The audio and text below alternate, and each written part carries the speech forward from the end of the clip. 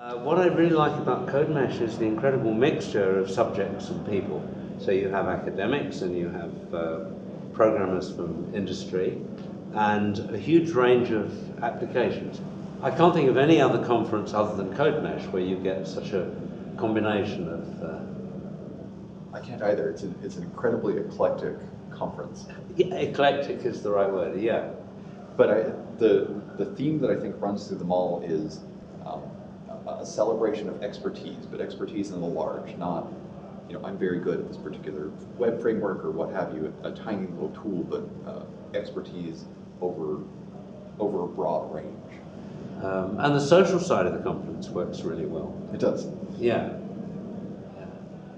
yeah. Um, somebody said, I think it was John Hughes that once said to me that the best thing about a conference is the coffee breaks because you know you get to talk to all kinds of people in the coffee